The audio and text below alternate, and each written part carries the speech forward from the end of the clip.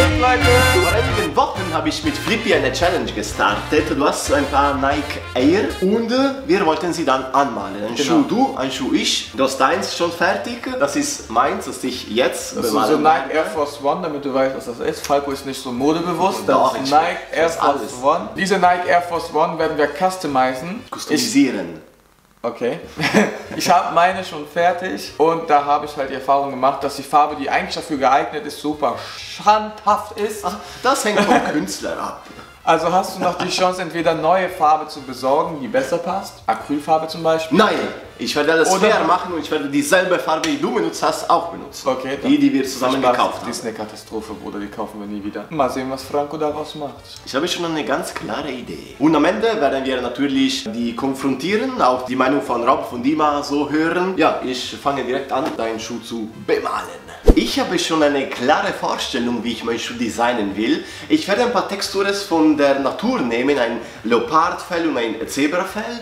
Und ich werde diese zwei Designs versuchen zu kombinieren. Dann noch ein paar Natur- und grafische Elemente dazu. Meine Vorstellung ist schon ziemlich klar. Ich hoffe, dass es dann so wird, wie ich es mir vorstelle. Ich habe noch nie auf einen Schuh gemalt. Ich bin gespannt. Das ist mein erstes Mal, mein erstes äh, Versuch. Und sofort danach gucken wir, was Flippy gemacht hat. Und jetzt let's go mit meinem äh, Speedrolling.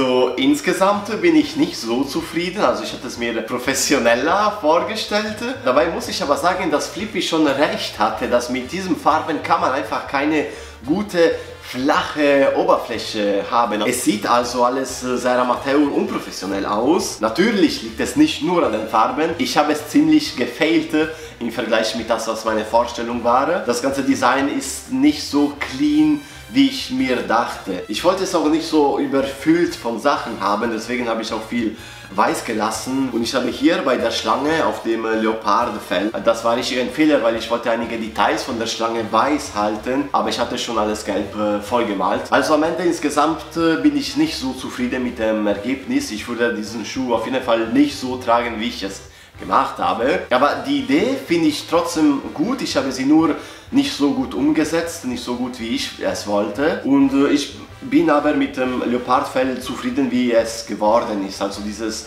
bisschen Aquarell und so. Da bin ich zumindest zufrieden, also wie die Textur geworden ist. Auch beim Zebra. Ich würde mir selber jetzt äh, zwei, drei, sagen wir mal, drei Falcos von fünf geben, aber nur weil es mein allererstes Versuch äh, gewesen ist, auf Schuhe zu malen. Ich weiß äh, schon jetzt für das nächste Experiment auf Schuhe werde ich ganz andere Farben benutzen. Und jetzt äh, gucken wir mal, was Flippy gemacht hat.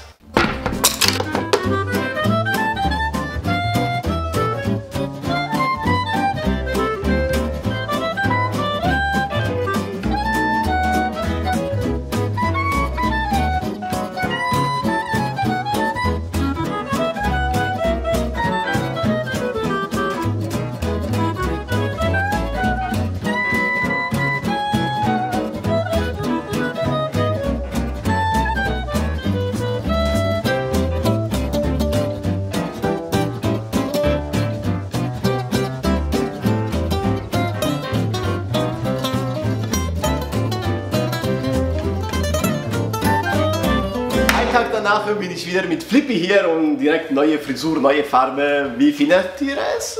Schreibt es gerne in die Kommentare. Kommen wir zu unseren Schuhen, die besser gepimpt sind als äh, dein Kopf. Was redest du da? Also ich finde meinen Schuh fresher natürlich. Natürlich. Ich will deine Bewertung von unseren beiden Schuhen jetzt hören. Deine ehrliche Bewertung.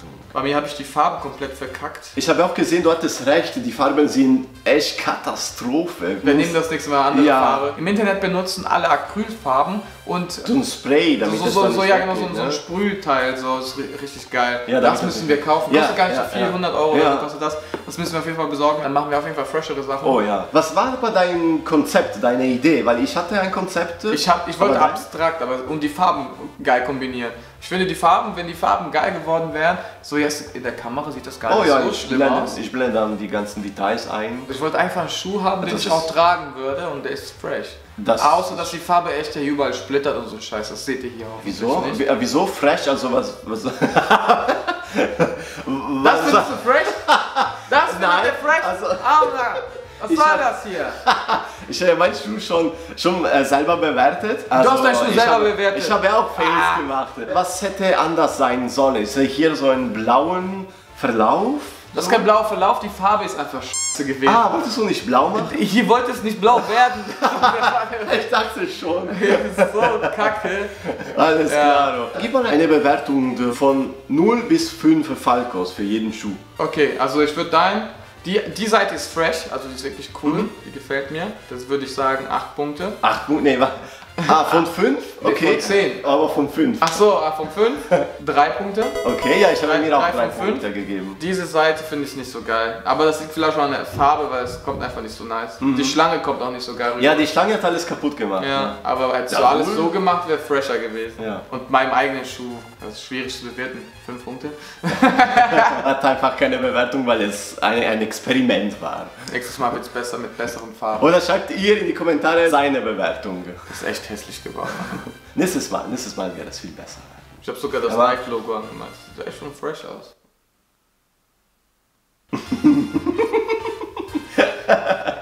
Aber es hat auf jeden Fall sehr, sehr Spaß gemacht. Das war was Neues für mich und ich habe Bock auf jeden Fall weitere Sachen zu pimpen. Und du kannst, du kannst äh, Warte, warte, eine warte, warte, warte.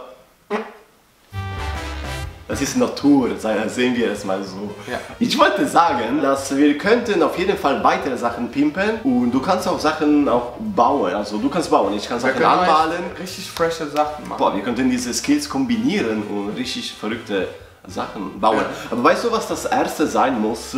Die Holzburg. Eine Holzburg? Weißt du, ja, ich hatte schon mal in ein älteres Video, hatte ich eine Wette verloren, jetzt kurze Einblendung. Der Verlierer muss dann eine Verkingdomburg bauen, aber diesmal alles mit Holz. Oh Gott! aber keine Holz, aber eine Louis Vuitton Holzburg. Das muss eine geile sein. Es muss alles so fresh sein, so Ja, modern. aber erstmal eine, eine. Holzburg. Louis Vuitton, Gucci, Prada. Kann man auch eines Tages machen. Äh, erstmal eine Holzburg. wenn Das kommt, richtig, das Bruder. Nein, nein, nein. Dima, ich bin jetzt fertig und ich bin jetzt sehr gespannt auf deine Meinung. Du weißt schon, du hast schon gesehen, während ich gemalt habe, Ich hab was meiner ist.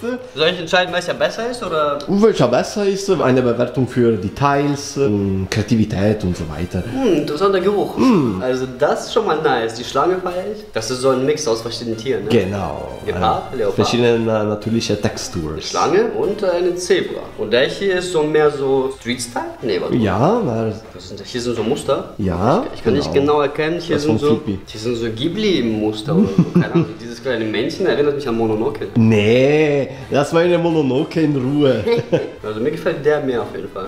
Der ist ein bisschen fröhlicher, so wegen dem Gelb. Lebendiger. Und ich mag das Zebra-Muster extrem. Aha, ja. Und die Schlange gefällt mir auch.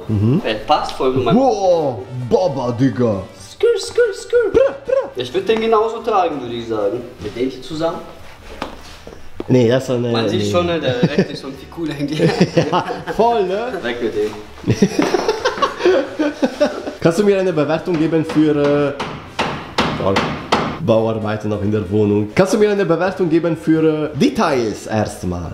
Sagen wir vier, weil Diese Aquarellgeschichte hier hat sich ein bisschen verlaufen. Wenn es scharf wäre, fände ich es nice auf jeden Fall. Also wenn, Echt? die, Ich wenn habe die es Kanten scharf wären. absichtlich nicht so scharf gemacht, weil es natürlich aussieht. Ist cool, aber ich, ich fände das, wenn es wirklich komplett scharf wäre, alles Mhm. komplett schwarz, ein bisschen schöner. Ja, für die Idee und Kreativität Für die Idee auf jeden Fall. Fünf. fünf.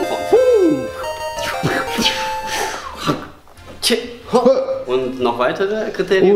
Und generell, wie magst du es so von 1 bis 5? Baba. Es ist eins über dem Film. Oh, oh. Baba. Wenn du den zweiten genauso machst, dann will ich auf jeden Fall haben. Uh, nächstes Mal mache ich es alles nur mit äh, Addings. Ey, wie wär's, wenn ich mir eigene kaufe und du gestaltest mir welche? Ja, lass so machen. Ja. bewerten wir jetzt ganz kurz auch das von Flippy. Da ist aber nicht so viel zu sagen, oder? Vielleicht eins von fünf. Aber weißt du, was noch 5 von 5 hatte? Tonys Merch. Mit Oder? Händen. Seht ihr diese Hände? Uh, das waren deine Hände als Vorlage. Ja. Ich mag das T-Shirt voll. Es? Dimitrowski. Schreibt Kozlowski, in die Swarovski. Kommentare, wie findet ihr das Shirt, wie findet ihr den Schuh? Schreibt das in die Kommentare und äh, gehen wir jetzt zu Roberto Croccante. Und jetzt deine Meinung, Robertone Croccante. Also der ist von Philippe. Ja, Also ich finde den wirklich nicht schön. Also man kann... weil. Ich weiß nicht, das sind mir zu viele verschiedene Farben und irgendwie kein Konzept. Und das ist deiner? Ja! Der, der könnte so, ja, so in Afrika oder in Thailand so ein gefälschte Gucci Nike Kollabo Schuh sein. Mit so Leoparden-Zebra-Design. War es schwer? Nee, also schwer war es gar nicht. Und wieso sieht das so scheiße aus? Also, es ist keine Ausrede, aber die Farben haben auch viel dazu beigetragen, dass es nicht so gut wird. Also, Ihr braucht auf jeden Fall die richtigen. Stifte. ja, Safe. so scharfe Stifte, Ja, ja, Addings. ja. Frank, das, wir kriegen das besser hin. Ja, Wir das war am Ende der erste Versuch, auf so Schuhe zu malen. Der zweite Versuch wird geil. Voll, voll, mit Addings, mit den richtigen Stiften, dann Safe, tschüssi. safe, safe. Ich sie für Interessanter Ansatz. verkaufen. Ich habe auf TikTok gesehen, Leute haben so Naruto-Augen hier drauf gemalt. Hab ich auch Oder gesehen. Frankie, Heftig. weißt du, was heftig wäre, wenn du schaffst, so viele Pokémon wie möglich hier auf dem Schuh zu malen. Das ein Schuh krass. mit allerersten 151. Gratuliere, Boom. Sie haben den Job. Amici, schreibt mir jetzt in die Kommentare, was ihr von unseren Schuhen hält. Ich verspreche euch, dass äh, das nächste Schuhdesign viel besser gelingen wird und ich werde die nächsten Schuhe auch verlosen. Und wenn ihr Vorschläge habt, was ich noch pimpen könnte, außer Schuhe auch, könnt ihr es mir gerne in die Kommentare schreiben und ich werde einige Wünsche von euch dann erfüllen. Und natürlich, was ich dann auch pimpen werde, werde ich dann auch an einer von euch verschicken. Wenn ihr diese Arbeit, diese Kunst unterstützen wollt, dann lasst mir wie immer gerne ein Pollicione, einen Daumen hoch unter das Video, den Kanal kostenlos abonnieren, um keine weiteren Videos zu verpassen, die Glocke aktivieren. Bis zum nächsten Mal. Arrivederci.